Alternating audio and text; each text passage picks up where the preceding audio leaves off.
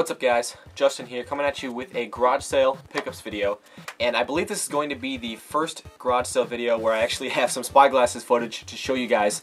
So I'm going to try to keep this pickups portion of our videos a little bit shorter just because with the addition of the spyglasses footage and whatnot I don't want our videos to get too long. So I'm going to get right into this here. I'll start it with Friday. Uh, Ryan and I woke up early on Friday and actually drove to the next town over from us.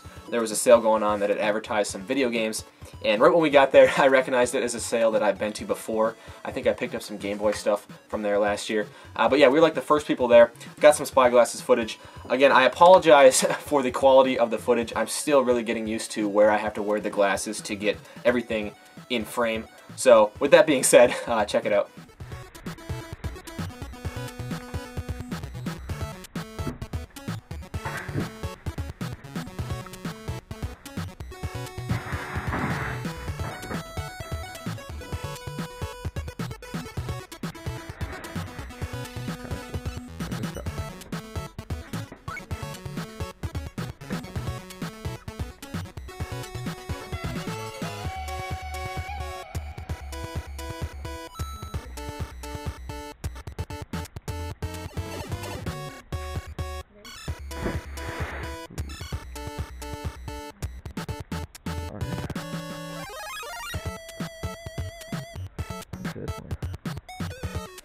So as you could hopefully see anyway, um, their video game selection consisted of three Xbox 360 games, which I believe were like 10, 10, and $20 each.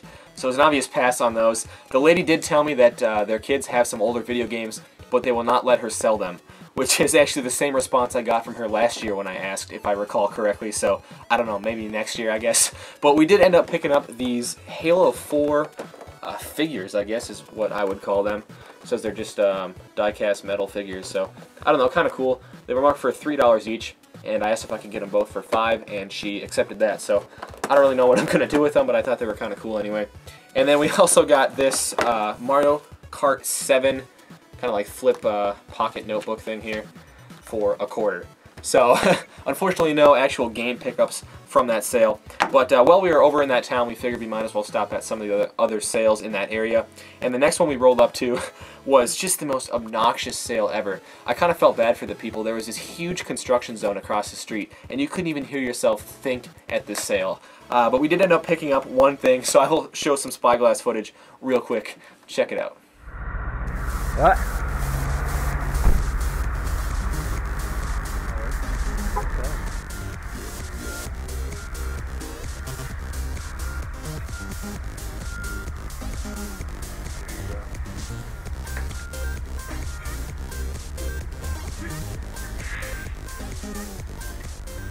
I mean, I know you want to. it's kind of tempting. At least it's, at least it's new. So yeah, a Super Mario Bros. toothbrush. And uh, you may have heard me say it in the video, at least it was new. Obviously, if it wasn't brand new in the packaging, we wouldn't have bought it, but it was only a dollar. And I think Ryan said he wanted it, so we were like, whatever. Went ahead and picked that up. And that was actually all we found for Friday. We stopped at a couple more sales back in our town without any luck. So I'm going to jump ahead to Saturday now. And we woke up early on Saturday, drove across town to our first sale. I don't remember why we decided to go to this one first. They may have advertised some game stuff. Can't really remember. But uh, anyway, we got there like 7.45, and the sale was scheduled to start at 8. So 99% of sales would have been open already. We start walking up there, and the lady's like, oh, you know, we're not open for another 15 minutes. And it just, oh my God, it irritates me so bad when people do that. Like, I understand if it's just like one person running the sale and they're still going in their house and bringing stuff out. Like, I get that. But when there's multiple people there running the sale and they have everything out and priced already, like, why would you say that? Why would you essentially say, oh no, don't give me your money now? You know, if you want to come back in 15 minutes, feel free. So, anyway, I quickly asked if they had any video games they were selling. The lady said they were selling an Xbox and some games. So, we went to a couple more sales in that neighborhood to kill some time. Didn't find anything and then rolled back up to this sale.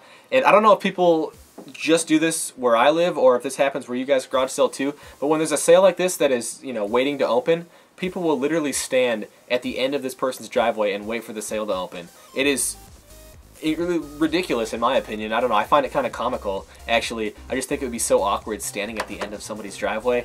I would much rather wait in my car, which is what we did. And then as soon as we saw everyone start walking up there, we quickly hustled up there, and I got some footage. So check it out. Oh, it's right here. So it's got, it's got this and then, and it works. He just tried it out last night. And Okay. then it's got two controllers and then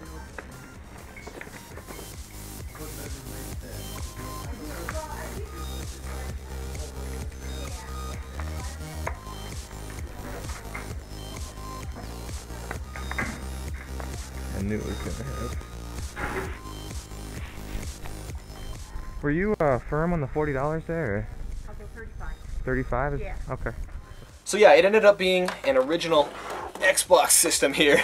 Uh, it's got like a skull-looking skin thing on it. I'm usually not a huge fan of these skins, but uh, this one's one of the cooler looking ones that I've seen anyway.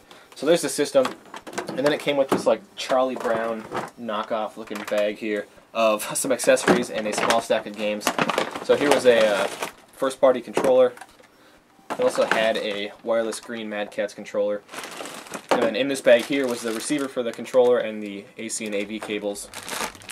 And then a small stack of games. Now, the entire lot was marked for $40, and if it hadn't been for one particular game in this stack, I probably wouldn't have bought it. But uh, anyway, yeah, we got Dance Dance Revolution Ultra Mix 4. Uh, all these games actually were complete and uh, in very, very nice shape, so that was another bonus as well. I'm not going to open all the cases, but uh, Star Wars The Clone Wars also uh, comes with Tetris Worlds. Uh, Platinum Hits 007 Nightfire. SpongeBob SquarePants Battle for Bikini Bottom. SpongeBob SquarePants Movie. And uh, actually, this one here is the only one that didn't have uh, actually just the case art. It's got the disc and the manual in there. Uh, Blinx the Time Sweeper. We got a Platinum Hits Star Wars Battlefront. And then the winner of the bunch was a Star Wars Battlefront 2. And uh, complete, really, really nice shape on this one. I was very happy. Said if it hadn't been for this game, I probably would have passed on the lot, to be honest. I just I hate dealing with these original Xbox systems. They're so big and bulky. You know, you can't really ship them because they cost more than they're worth to ship, probably. So I don't know. I don't know. We'll find something to do with that. Anyway, I said it was marked at forty dollars though. I asked the lady if she was firm on the price. Uh, she said she'd do it for thirty-five. So we went ahead and picked up that bundle for thirty-five dollars. And before we left, I quickly asked if she had any other older video games she was looking to sell, and she thought about it for a second and then told me that she had a Sega. And uh, she didn't say she didn't know what kind of Sega it was or anything, but she saw said she had seen it the previous day when she was getting stuff ready for the sale, and she said she didn't have time to go in and get it at that particular moment. She told us that we could come back later if we wanted, so I'll let you guys know what that whole situation turned out like a little bit later in the video. But anyway, from there we moved on to our next sale, and this was the disappointment of the weekend for sure. I got some footage. I'll let you guys check it out, and then I'll kind of explain what actually happened. So here you go. See, this guy, I noticed he had some like older electronics and stuff. He didn't happen to have any like older like video games or anything like Their that. fault. If the guy comes back, that's what you're looking for. Oh, what? Well, the guy, You on hold for somebody there? all his stuff, so he had to go to an ATM machine. Okay. You mind if I? I'm not gonna touch anything. You mind if I just take a look at it real quick? Or? just take a look. Okay.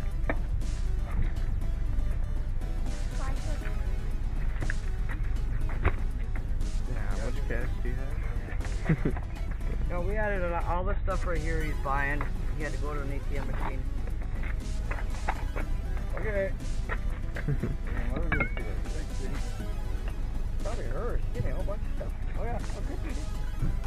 So yeah, there was this older lady running the sale, and we had asked her if she had any older video games. And she had a, a few boxes next to her actually, and she lifted up these coats and stuff she had on one of the boxes, and there was just this big box of Intellivision stuff. Uh, like boxed Intellivision games. There's like a couple like random PlayStation controllers and crap in there, but um, the whole box was marked for five dollars. And she explained to us that she had it on hold for somebody who had been there way earlier in the day, and had put all this stuff on hold and said he had to go to the ATM and get money. Was going to come back and buy it. And so part of me was like, you know, all right, well, I'm not even going to make an offer then. But then the other part of me was like, wait a minute. I was like, what does this guy just wake up like really early, get to these sales, like put all the good stuff on hold, and then decide whether he wants to come back later and buy it? Like, no, screw that. I was like, it was a the box was marked for five dollars. I was like, if he gets up that early to come out garage selling and doesn't have five dollars in his pocket, like, no, screw that. So I was like, I was like, all right. I offered the lady, I was like, if I give you ten bucks for this right now, like, would you take it? And she's like, oh no, you know, I can't. It wouldn't be fair. And I was like, how about fifteen? and I was trying so hard to get this box of games. I knew Ryan wanted it because he's the Intellivision guy, and she's like, "Oh no, I can't do it. Sorry." And I probably could have offered her, you know, thirty bucks, and she wouldn't wouldn't have taken it. Um, so it was kind of disappointing that she wouldn't sell it to us. And uh, she said that uh, we could come back later and check to see if the guy had come back yet or not. And you know he had been there way earlier, so we were like, okay, well maybe he's not even coming back. So we ended up stopping at that sale like again like an hour later, and unfortunately the guy had come back like right after we had left and picked up all the stuff. So I don't know, that was uh, more disappointing for Ryan because I know he really wanted that stuff. But uh, whatever, we'll find him some more Intellivision stuff later in the year. So anyway, from there we moved on to another sale.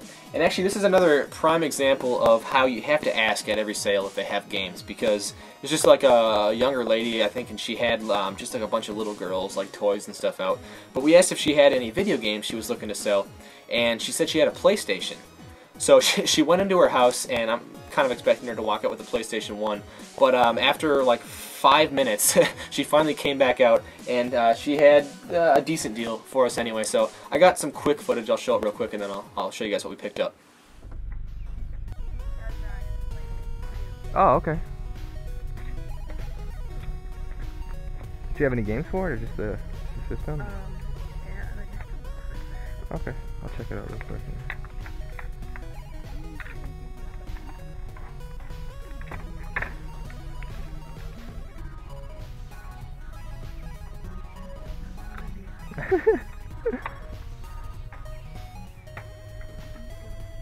okay.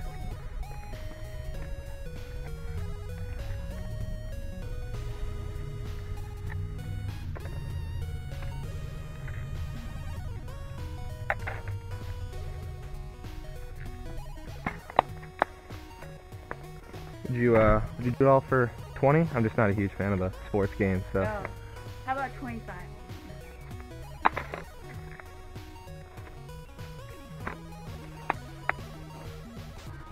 Okay, yeah, we can do 25.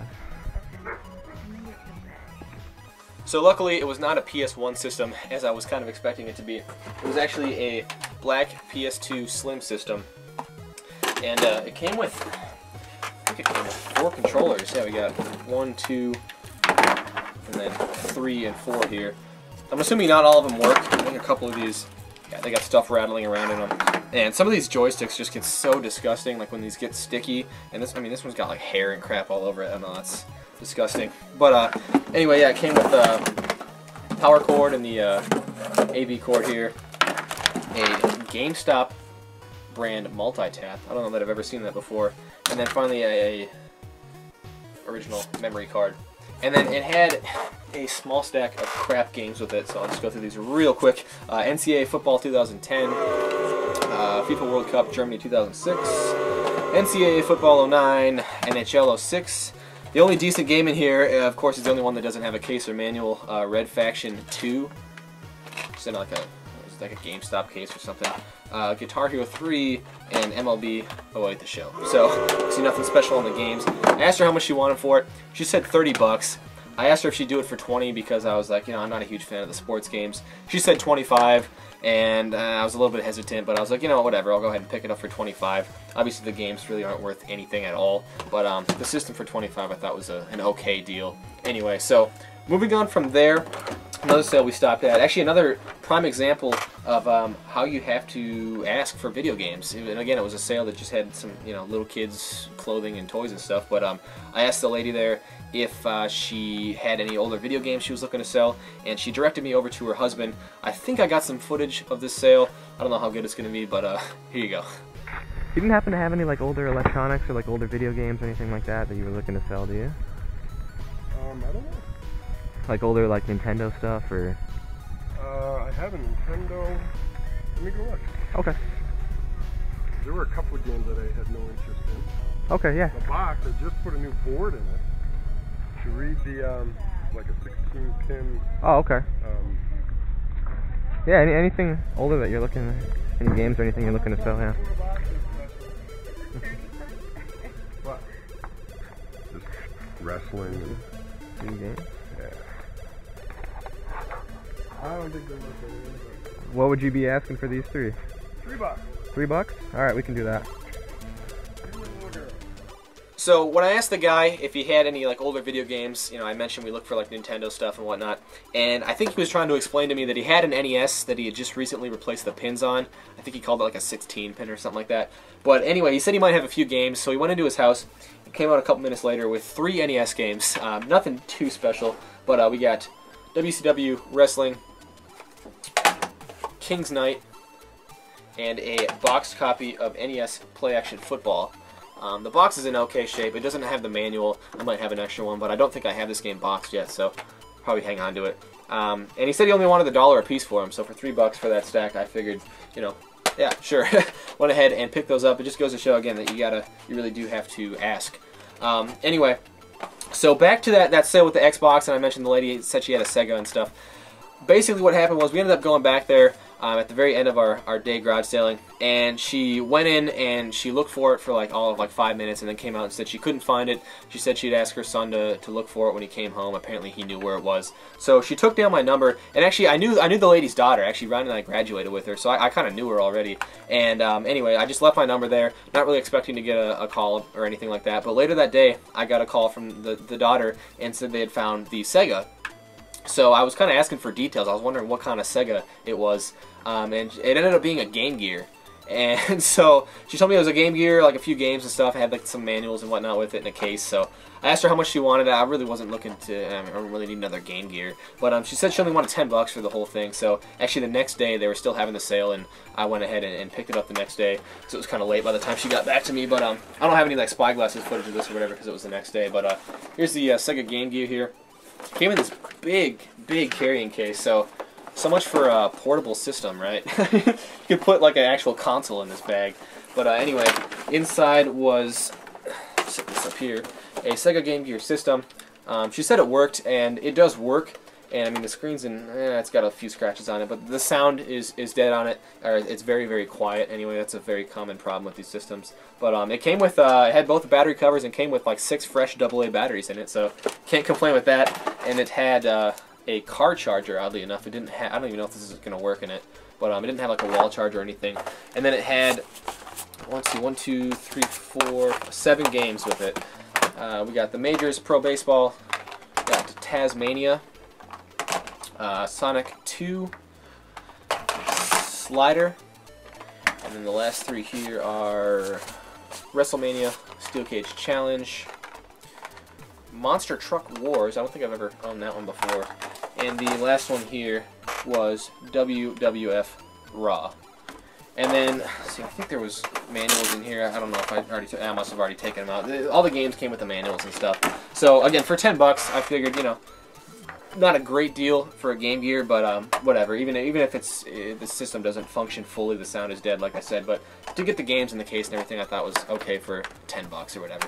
So anyway, I believe that is going to conclude our uh, our garage sale video. I, I really hope I can continue to get some like spyglasses footage and stuff for you guys, and I hope that it, it gets better in quality. Again, I, I'm still getting used to like I, you literally have to exaggerate way more than you think you would to get the stuff in frame because the camera is a little bit above eye level. So I'm working on it. I promise next video should be better anyway. So thank you guys for sticking around and checking out this entire video, and until next time, take care.